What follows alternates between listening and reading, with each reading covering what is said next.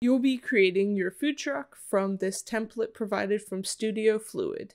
Keep in mind we'll need to see your truck name, vector graphics, social media and website handles, as well as the incorporation of text, color, and graphics. In order to see your template and unlock all of your parts of the food truck, make sure your layers panel is open and just toggle this lock button to be able to edit. When you're done, your final image should look like this. So drag both templates to the center and of course add your labels including your name at the very bottom. Go ahead and open up your template. I've singled out the two views that I want. I've also opened up my windows like type, swatches, layers, and character. I'm going to put the logo here as well as on the front and then add some extra vectors, color, and some pattern. Food trucks are an awesome alternative to brick and mortar stores to allow entrepreneurs a chance to make some money without spending a lot or having a lot of overhead. It allows them to travel and get their name out there and also pursue their passions. We see a lot of trucks that aren't just food, they're clothing, wellness, etc. The goal of this assignment is to mess around with typography and vector and to have a clear representation of your design. Windows you'll be using include the character panel, as well as the swatches. This is a continuation from last assignment in which you created swatches from hues. For this assignment, you're also going to use your layers panel, specifically because we are using a provided template from Studio Fluid. They've created this template and you'll work on top of it. To access any of it, just go ahead and toggle the lock button or the visible button to see what you're doing. When working in the layers panel, go ahead and make a new layer called your artwork that you can work right on top of. This is better than working inside the layer in case you need to preview your template or make changes. So, in deciding what kind of food truck I wanted, I wanted to solve a problem that we have, and one of it's, you know, a work life balance. So, I decided to create a food truck that appeals to people on their break or after work. That's a spot for people to to get a massage or rest or or maybe a therapy space or something like that. So I'm deciding to call my food truck Chill. So the first thing I'm going to do is lay out my word mark and go to your tools panel up above and activate your type tool and I'm going to mess around with all caps as well as lower caps. And I find that I like the all caps better. So I'm going to erase that. Now, an easier way to do that is go to type, change case, uppercase, lowercase, title case, or sentence case allows you to make quick changes to what you're doing. When you're designing, it's better to work in lowercase and then have it change it for you. So you'll see in the type tool there's many, many options to mess with that we'll talk about later. In the character panel, this allows you to mess around with type attributes. With the type selected, if I want to change the typeface, because who wants to work with Myriad Pro? You don't want to work with the default typeface, you want to change it up. Uh, the typeface I used is from Adobe Fonts, so you can find it. It's with your subscription. Uh, you can go to Adobe Fonts and activate it, or you can actually activate it in the software where you select your typeface of choice. In practicing for this tutorial, I went ahead and pre-selected my typeface. Keep that in mind because it does take some time. You want to be able to get the kind of vibe, feeling uh, through your type choice. It's a lot of trial and error, but for me, I selected Nova Heavy, and I decided to go with all caps for my word mark. Chill is going to be the name of my truck here, and I might include a little tagline as well just to give a little more insight into the company. In the character panel here, you can customize the spacing between letters and rows of type as well as sizes and so forth. One thing you might want to adjust is your what we call leading or the space between two lines of type. That can be changed here using the little arrow keys. You want to do this as opposed to creating two different text boxes because it's harder to work with and harder to manage, especially if you decide to edit your typeface in the future. The term leading, as well as other terms, actually came from the history of printmaking. So, leading refers to the space between lines of type because they actually put little bits of lead to separate their characters. Another edit you might want to work with is tracking, so changing the space between all the letters in a group. Kerning refers to changing the spacing between two characters. It's easy to get those confused, but just keep in mind they are different. So I'm going to add some tracking or some space between my letters here just to match the tone of my truck. Remember, the design of the typeface as well as the space around the typeface can say a lot and back up some of your message or the tone of your company. Things that you really shouldn't do is stretch type like this. Um, it loses its characteristics and it's just really a no no in the design field. You want to try to preserve as much of the typeface as possible. And to scale text, while clicking and dragging, hold shift and you'll maintain the aspect ratio or the proportion of the typeface as it was designed. But now if you want to say warp the type, you can go into the envelope tool here and click and you can mess around with like arcs or or changes to the typeface that still looks good, but it adds a little bit of energy and character to your logo.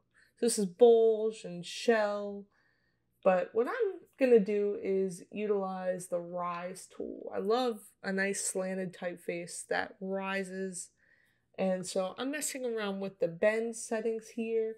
If I do too much, I create kind of awkward spaces, so I want to mitigate that as much as possible. That's looking better. So you'll see I can mess around even with the distortion. So if I wanted like one of the letters to be bigger than the other, I'd do that, but I'm going to keep those to zero and then just mess around with the bend settings here. You're more than welcome to use any of these warp settings.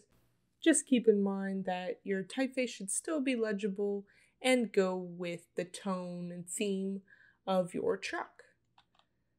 As you can see, I mess around with maybe it, it falling as opposed to rising, but I'm a fan of the positive energy of a text rising and the history of kind of sign painting. So I'll hit OK. Now you see this filter still applied, so I'm going to go to Object, expand and now I've got a pure shaped instead of that filter there. That's just a great way to get it back to shapes and away from being a typeface. Whenever I'm designing, if I make a change to the typeface or if I'm exploring, I have at least 10 to 20 versions of the typeface because I never know which one I like and I want to make sure I just mess around until I get the right kind. So if you make a change to your typeface, copy it, paste it again, and then if you want to add something new to it, work in the new one. That way you can always go back. So you'll see here I have got three. Uh, a lot of my files I'll end up having like 20, 30. Famous designer said pixels are free. That's from Draplin, great designer. And he's right.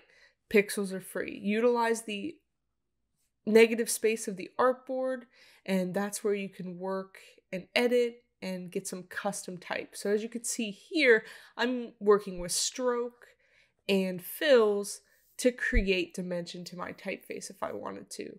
So I like what's happening here, especially right there, but I'm not a fan of the C here. So I'm going to continue editing, moving it around. And You'll notice that the final product doesn't even have any of this, but you need to have this sense of play when you're working. Some things are going to work out, some things won't. That's what the Command C tool is for, and as well as the Command Z. I'm usually not a fan of stroke typeface or strokes in general, uh, but I actually really like it here. Um, so I'm going to continue messing around with it just to give it a little bit more personality. So with all that play, I actually decide to go back to one of my more original type arrangements here. Um, just this didn't really work, and for the sake of time, I'm I'm loving this one. That's why, like I said before, you keep all of your iterations in case you go down the rabbit hole and you realize, wow, the first thing I did was probably my favorite. Sometimes that works, sometimes it doesn't. So it's it's it's a fun game to play. So with this done, now I'm considering adding a tagline at the bottom just to give a little bit more insight into the company. It can communicate your culture, your tone of the company, or some of the goods or services you provide. In order to do that, uh, I'm going to actually use a different tool. So I'm going to grab my pen tool. Because I want my tagline to flow with the header here, I'm going to work with the baseline and create my tagline underneath. We're working with a path created by the pen tool and then adjusted by the direct selection tool. Once you're happy with the path, go ahead, make sure to stroke, and then navigate to type tool and instead go down until you see type on a path tool. Click the path and there you go. Now you have type that will go on any path you've created. Remember, a path is created by two points from the pen tool. So here I'm messing around with my tagline, trying to figure out what I want. I kind of did a lot of this on the fly, so you'll see some of my planning stage. I recommend writing this out in, in on a sheet of paper, planning out as much as you can in your sketchbook before going into the Illustrator space. So I settle on this tagline temporary headspace. I think that's a great little tagline for the company, very millennial. Uh, yeah, very great vibes all around. So then I want to make sure to edit my type on path options for things to fit right. So I can go in the settings here in my type on a path options from the type window. And allowed me to change how the, the type is presented. I continue to mess around with the path, just trying to get that type to line up where I want it to. You can go in and actually move the type around. You'll see by using the, the direct selection tool here, with the type activated, I can push it to where I'd like. But then I realized this is the same typeface as chill, and it's better to have two typefaces going on uh, it shows range, shows sophistication. So here I'm I'm actually doing some looking in just what I have on my computer. Now traditional designers spend a lot of time trying to figure out the right typography based on their education and understanding of the look and feel and communicating the intent of the company. Now, we don't have a lot of time, so especially with a tagline, you don't want to overdo it in terms of decoration. I'm looking for still a sans serif typeface that isn't condensed, meaning the type isn't too close together. I want something that is just going to complement my chill typeface and also read quite well. You have access to a lot of typefaces from Adobe that you can download from Adobe Fonts. I highly recommend doing so. They have a truly amazing stock of beautifully rendered typefaces. I would do this as opposed to, say, a DaFont, because that is just kind of a garbage pail of typefaces designed by everyone, where Adobe Font has specifically curated typefaces designed by type engineers. So as you can see here, I settle on a typeface that's sans serif as well, but it's thinner in stroke and it complements it really well. Has nice contrast, doesn't look the same, but has the same feeling. So then I'm messing around with the tagline again, and once I'm happy, I make sure things are centered, and I'm I'm pretty excited to move forward. So once you're done editing, I highly recommend duplicating it one more time and keeping the other one live, especially if you've applied strokes and type. This way you can make any ed- edits later, but this one I've go- gone ahead and expanded it and I'm gonna go ahead and apply it to my truck. Making sure I'm in my artwork layer, I'm gonna copy and paste it and place it right in the center of my truck here. To make sure it's aligned, I make a quick rectangle and then I align the two, the logo and the rectangle together. And I'll use the center align tool just to make sure it is in the center. Now, sometimes optically, you need to make adjustments depending on the look of your logo. So keep that in mind. The align isn't always the default to go to. Now I want to add chill to my front, but it's kind of a very small space. So wishing I had saved my typeface when I originally typed it out, because uh, I just want to lay it out kind of more traditionally. So I go back to my work tool and I'm going to go ahead and expand it, maybe use it as a stroke, and apply this simple treatment to the front of my truck as opposed to it being the one on the side. So there we go. I have just the basic one. I'll probably just keep it at chill, hoping that my brand will be recognized. Maybe it's on the same level as Starbucks. Remember when Starbucks used to have Starbucks in their logo, but then they removed everything until you just saw the symbol. So hoping for hoping for that same brand recognizability at this point in the design process. so with that done, I'm going to go ahead and add some secondary type, including the website, uh, some features that you haven't seen yet. In the type tool, you can also manually mess around with the kerning or the tracking uh, if you want to kern two letters, you can go into touch type tool and you can just physically move one type around. And this is a pretty neat way to get some cool custom typeface here. Uh, but again, if you're if you're a little worried about customization, just use the character panel.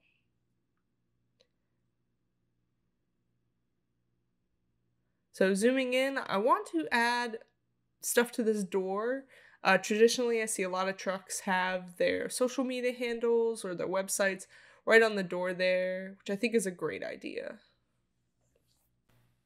You can add symbols if you need to, if you're really into, you know, adding the social media icons, you can.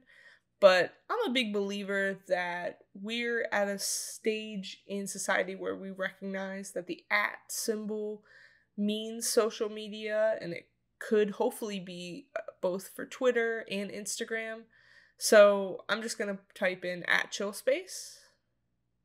That way it's nice and clean. I don't like to see a lot of the Instagram logos or the Twitter logos. They tend to cloud up the space and I'd rather have it be my brand. So again, just keeping it to at chill space there and now I'm going to go ahead and work on coloring the truck. So I don't want it to look yellow. I want to create a custom color palette. So just like the first tutorial, I'm going to make my color palette out of these squares here. Then I'll move it into my swatches panel so that I'll always have the same color for consistency. So I'm going to navigate over to Adobe Color, which I mentioned before, just so you can see the cool interface and how you can get inspiration from color palettes and make quick color changes. So going to color.adobe.com, you can see that you've got this great plethora of colors. You can explore other color palettes here, so you can see what's going on. At the time, it was these glowy colors. Uh, and then you can look into trends. So trends are very helpful, but remember, trends don't last and they always change. So don't always just stick with something that's trendy. Try to stick with something that's more relatable to your company. So I'm going to navigate back to the create and I want to create a color palette that has a lot of calming blues and maybe some bright oranges just to give it some personality. If you're struggling with color relationships, I highly recommend the color harmony rules to the left. We have our monochromatic, which is the least favored in my opinion. I recommend analogous or triad or complementary to increase contrast and create exciting color palettes. So with that though, I'm going to go ahead and start and create some of my hues that I had in mind. So I'm going to start with kind of a, a pale mint green and adjust from there. It's important that you have contrast and different values in your color palette. You don't want to have similar values, similar saturations, similar hues throughout Otherwise, it gets kind of bland and it's a bit safe in my opinion. So I'm going to go through and you notice I went right for like this bright yellow orange and then I'm going to try to find some midnight blues as well to kind of create that calming sense, that midnight feel. Um, our mind is relaxing, but it's also some positive energy with some of the color choices. So these are the colors I picked before. I'm going to go ahead and select all of them and create my new swatches panel by clicking and going to new color group. And then I'm going to label it for future use too. So important to save your colors, especially when you're building a brand. These are going to be the colors that the brand would use for everything business cards, all the way up to their website. So keep that in mind. So now I can go ahead and start coloring the elements of the truck. Make sure that in the layers panel that your truck is unlocked. And you can also add shapes too. You don't have to just work with the shapes being created. So with my front here, I paint the whole thing this great mint green, but then I want to add secondary colors to create contrast and to make it visually appealing to the consumer. So I'm using the shape tool to add a rectangle to the bottom and I'm going to color it maybe a, a, darker color to increase contrast and incorporate some of those colors I picked. I also want that color to wrap around to the front.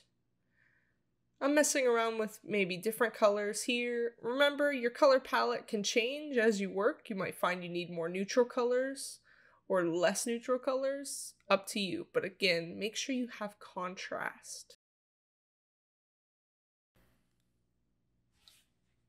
I want to wrap that blue around the front, but not on the major part of the grill area, just on the side here.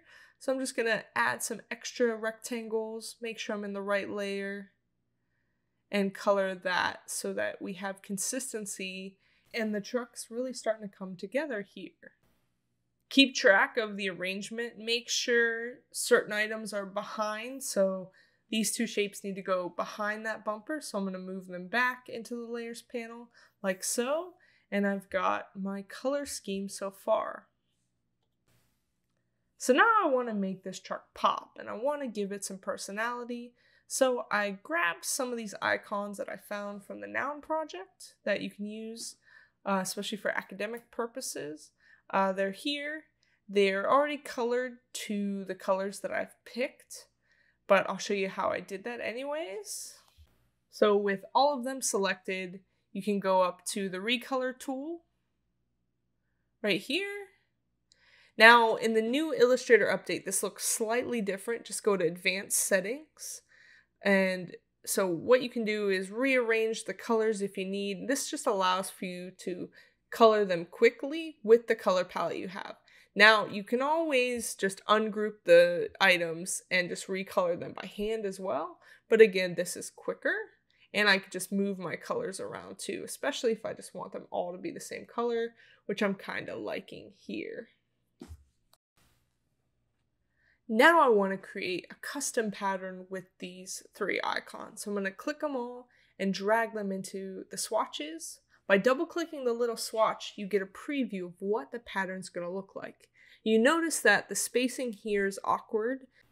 So I'm going to actually fix the little window that they sit in so that the pattern looks natural and the spacing is even. So I'm actually going to go ahead into the pattern options and adjust the width of the shape they're in. And you notice how the spacing is looking more and more balanced. And then here we go, it's getting pretty consistent. So then it automatically applies the pattern to anything selected. So go ahead and make a rectangle and there you go. You see there is a pattern. Now, obviously the scale is a little bit off here. So I'm going to go into the pattern and adjust it. You can adjust it in the pattern objects, but having done this before, I like just scaling the shapes down and comparing them with where they need to be placed. So I, scale them down and then I put them on the truck just so I can see if I like the scale. Once I'm happy, then I'll recreate that pattern again. Having seen how the colors interact behind the word mark, I'm going to go in and adjust the colors in my recoloring tool one more time.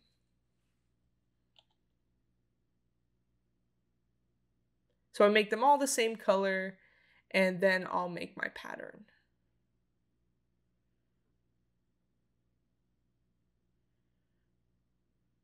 Again, I'll do some adjustments, double click, and rearrange my shape.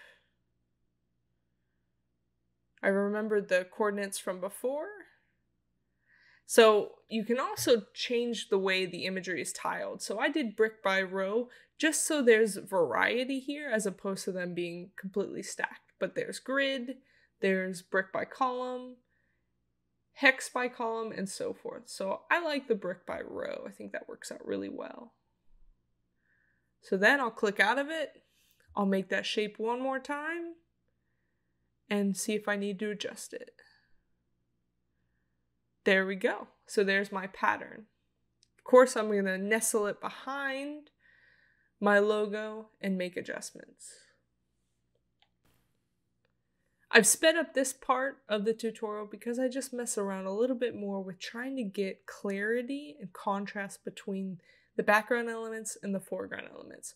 Right now, chill is disappearing because of the amount of icons there, so I go ahead and I recolor the icons first, and then I go ahead and mess around with some of the transparency, as you'll see here. So I go ahead, I recolor the artwork, see how white acts. That's looking better, but still not quite there. So then I might, yeah, I think I'm gonna go ahead and change the way the icons look so they're nice and transparent. And then I'm going to bring in some popping white to the chill logo. I'm usually not a fan of stroke, but I think I need it for this look.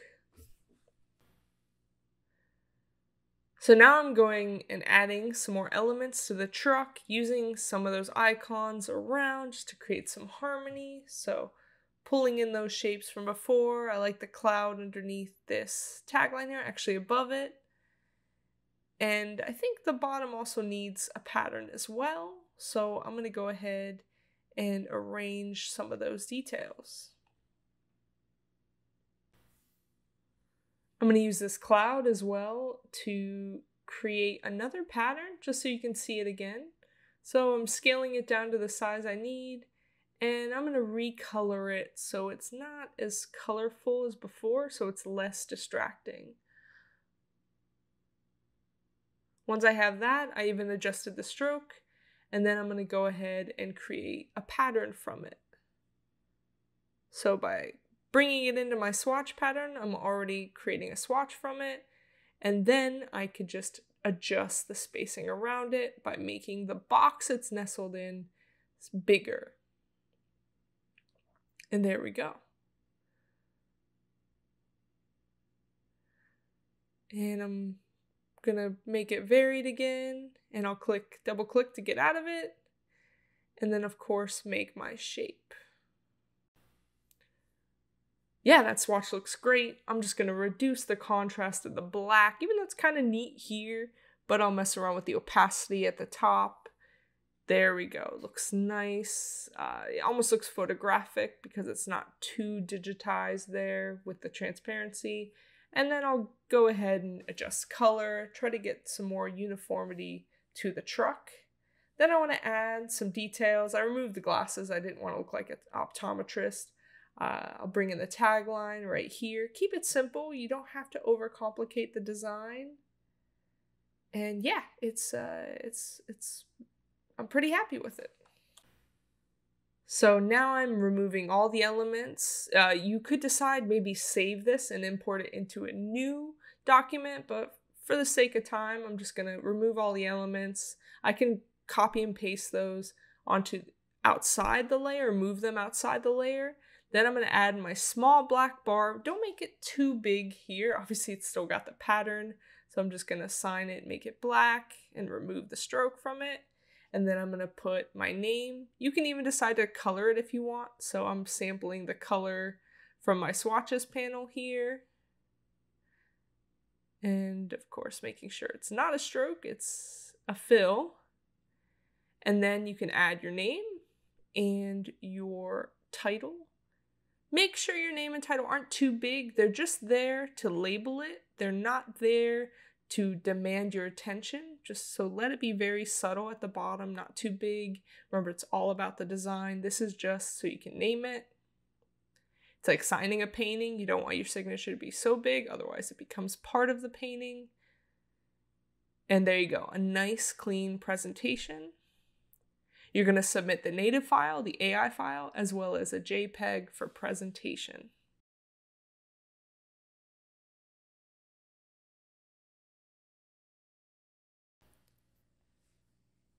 To save your native file, go to File, Save As, just so you can rename it, and put in your first name, last name, and the label, and make sure AI is selected.